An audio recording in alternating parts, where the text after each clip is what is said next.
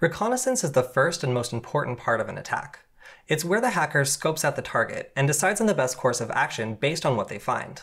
Now, doing this with something like uh, Nmap is pretty inefficient because it can take a very long time. But using tools like Raccoon Scanner, you can coordinate many scans all at the same time and get back a ton of information by running only a single command. We'll show you how this works on this episode of Cyber Weapons Lab.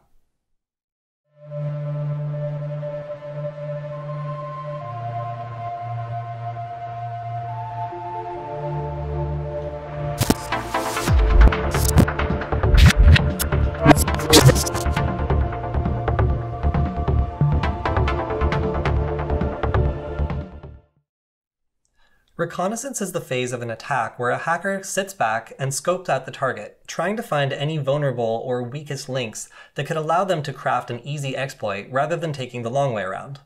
This ensures that any attack isn't uh, taking unnecessary time, and instead is the most efficient one possible to make. Now, to learn all this information required, you can go a couple different routes and use tools like either Maltego or uh, Nmap. But in general, you'll run up against either cost issues or time issues using these two tools. Maltego is somewhat expensive, although it's great at finding relationships between different domains, and Nmap is somewhat limited because it can only find information about domains you already know about, and you'll need to rerun the scan in order to search subsequent domains that you discover.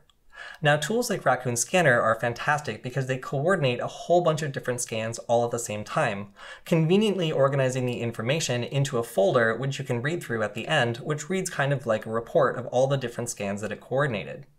It also just uses Python, so if you have Python 3.5, then you're good to go. Now, the kind of information that Raccoon Scanner can find is pretty useful because it includes things like subdomains and various other types of information about a domain and linked uh, properties on the web that can allow you to find out a lot of information about the person or organization that owns the domain. Now, this kind of tool is useful for finding vulnerabilities, and you can also run all this through Tor, so it's extra subtle in that your target doesn't even know they're being scanned by you. Now, to get started, it only takes a single command, so let's begin. Now, to get started with Raccoon Scanner, you can navigate to the GitHub page here. When you scroll down, you'll notice there's a list of all the capabilities, such as the ability to use Tor to connect when you're doing these scans.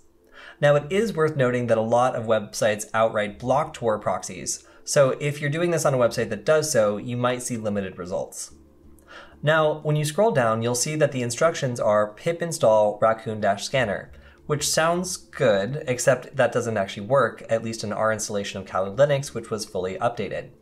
Instead, we found that the best way to do this was by running pip3 install raccoon underscore scanner, and in this case, we already have it installed, but if you were running it for the first time and you had Python 3, then it would be installed just fine. Now, if you get an error, it's worth trying to type just Python 3. And you can see that I have Python 3 installed, and it should pop up just the same uh, and offer this command prompt if you have Python 3 installed. If not, go ahead and just install Python 3, and you should just be able to get it working fine. So to get started with Raccoon Scanner, we can type in raccoon tac, tac help, and it'll give you a list of the various commands you can do within Raccoon Scanner. Now, we'll take a look at the tac t command, which specifies the target, and we'll create a very simple search in order to go through some details about a target domain. Now to get started, I'm going to use a really simple search on a publicly available domain, and we wanted to use priceline.org, but unfortunately we got banned after we used this the first time, uh, and of course I wanted to use it because they stranded us the last time we use it, but instead we'll just use pbs.org because it is a well-known and public domain. So we'll go ahead and type in raccoon tact pbs.org and press enter to begin the scan.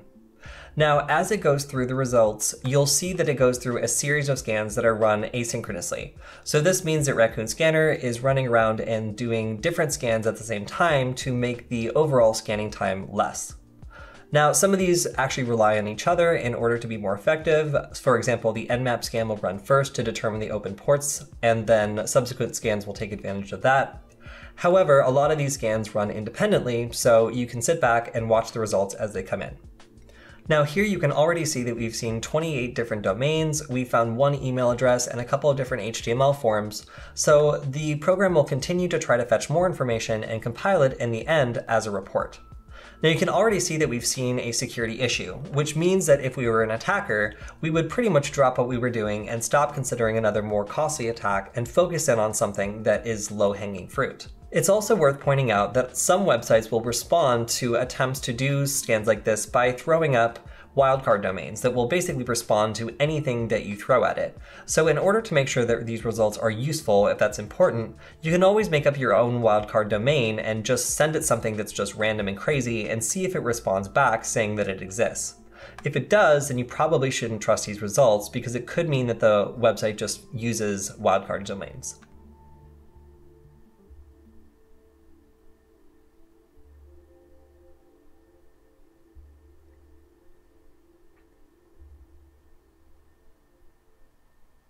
Here we can see that it's also going through the DNS dumpster to find subdomains that might not otherwise be publicly available. As you can see in these results, it's going through a list of subdomains from a brute forcing list, and it's returning the ones that it gets interesting results back from. This could indicate a subdomain or service that's standardized, or is maybe a web plugin with another provider that could be a different surface for an attack. Now that the scan is complete, we'll have a lot of results to interpret. So let's type ls to see the raccoon scan results folder. Type cd and raccoon scan results, and then type ls to see the different websites that you can examine that you've already done scans on. Now we'll type in cd pbs.org and then ls to see the various scan results that have come back. Now I'll go ahead and actually open this in a folder so we can see them more clearly.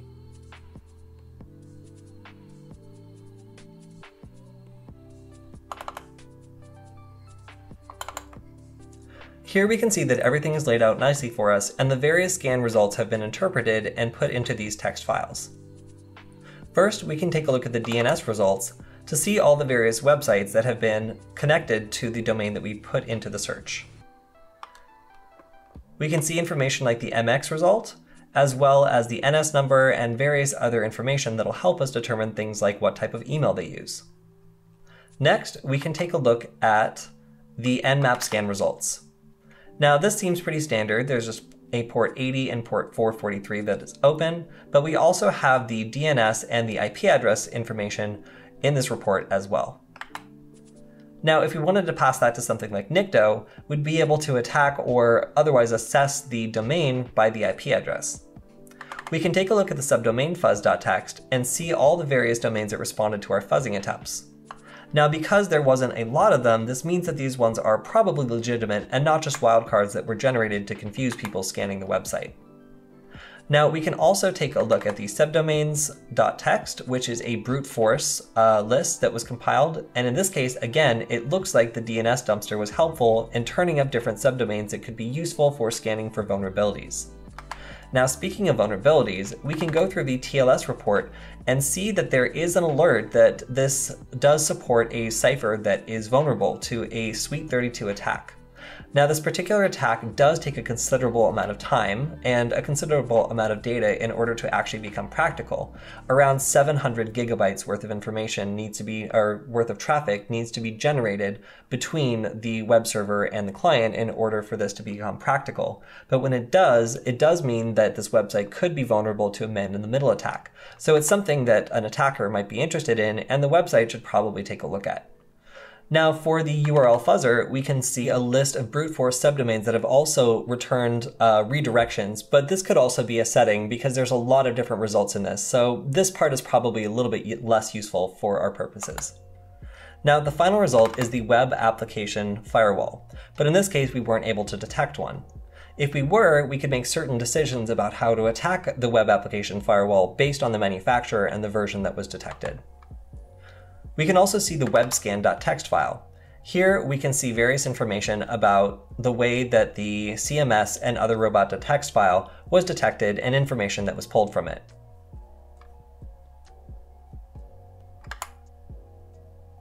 Finally, we have the basic whois.txt information here displayed for the owners of the web domain, including things like when the registration expires, who registered it, and certain contact information for the people that did. Now, some people choose to register this anonymously, but in other cases, you can identify people who might be responsible for certain portions of the operation.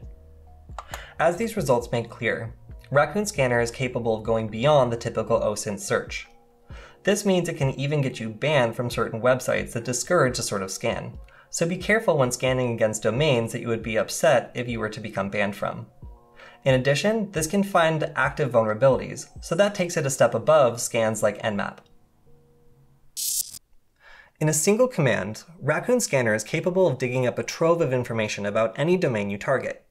Now this is useful for an attacker because it's capable of finding things like misconfigured domains or vulnerable domains that can allow you to design a very efficient attack by targeting the weakest link. For a defender, it allows you to identify these weak points and understand what attackers are working with when they're looking to attack your domain. That's all we have for this episode of Cyber Weapons Lab. Make sure to like, comment, and subscribe, and we'll see you next time.